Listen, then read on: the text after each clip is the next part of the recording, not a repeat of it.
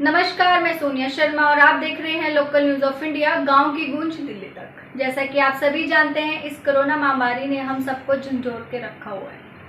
Corona महामारी की पहली लहर में भी हमने अपने कितने परिजनों को खोया है, इसी प्रकार अभी दूसरी चल रही है। हालाँकि अभी रेट कम है, कोरोना की पॉजिटिविटी रेट कम है रिकवरी रेट ज़्यादा है, लेकिन विशेषज्ञों का मानना है कि इसकी तीसरी लहर आने की भी संभावनाएँ हैं। तो ऐसे में इस महामारी से बचने का हमारे पास क्या इलाज है? ऐसे में हमारे पास एकमात्र सहारा है वैक्सीन। और वैक्सीन को लेकर इतनी अफवाहें हैं कि लोग उसको लेने से झिझक रहे हैं, उनके मन में डर है, भयभीत है।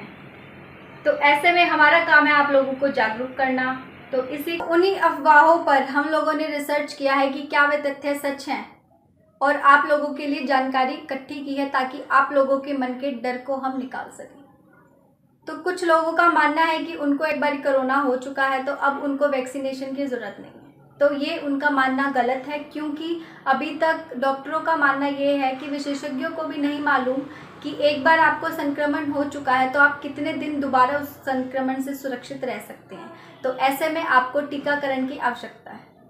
दूसरा लोग ये कहते हैं कि अब मैंने टीकाकरण करवा लिया है और अब मुझे कोरोना नहीं होगा चाहे मैं बिना मास्क के जाऊँ या मैं सोशल डिस्टेंसिंग का पालन करूँ, ना करूँ तो ये तथ्य भी गलत है क्योंकि आपका टीकाकरण हो गया है, लेकिन उस टीकाकरण प्रक्रिया को होने में कम से कम दो से तीन हफ़्ते का समय लगता है।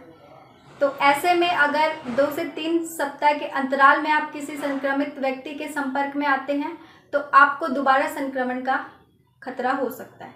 तो ऐसे में आपको सावधानी बरतनी होगी। टीकाकरण के बाद भी मास्क और सोशल डिस्टेंसिंग का पालन करना होगा।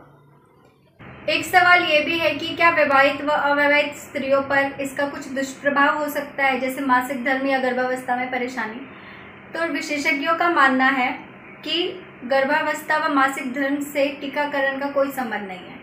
वैक्सीन के ऊपर नियुक्ति की जाती है उसके दुष्प्रभावों की, जो है सिर दर्द, एक दिन बुखार और एक से दो दिन हाथ में दर्द। इसके अलावा अन्य कोई भी कारण टीकाकरण से संबंधित नहीं है। एक सवाल ये भी है, अधिकतर पुरुषों का ये सवाल है कि क्या टीकाकरण के बाद हम शराब का सेवन कर सकते हैं? तो ऐसे में विशेषज्ञों का और डॉक्टरों का कहना है कि आप अपनी दैनिक शराब की सिफारिश कर सकते हैं, लेकिन अत्यधिक शराब पीने से आपकी रक्षा प्रणाली को हानि हो सकती है। इसलिए कम से कम टीकाकरण के बाद एक सप्ताह का आपको इन सब चीज़ों से परहेज रखना चाहिए। तो एक सवाल ये भी है कि क्या टीकाकरण मुस्लिम वर्ग के लोगों की जनसंख्या रोकने की साजिश है? तो जी नहीं। कोरोना जो टीकाकरण है वो सभी वर्गों के लिए है, केवल मुस्लिम वर्ग के लिए नहीं। 18 प्लस जितने भी लोग हैं, उन सबको टीका लगाया जाएगा। ये हमारी सुरक्षा हेतु है, ना कि किसी वर्ग हेतु साजिश। तो मेरी, आप लोगों से यही दरख्वास्त है कि अफवाहों से बचें, अपनी बारी आने पर वैक्सीनेशन ज़रूर लगवाएँ। और इसी प्रकार देश भर की तमाम खबरें व अहम मुद्दों की जानकारी के लिए जुड़े रहें लोकल न्यूज़ ऑफ़ इंडिया के साथ। धन्यवाद।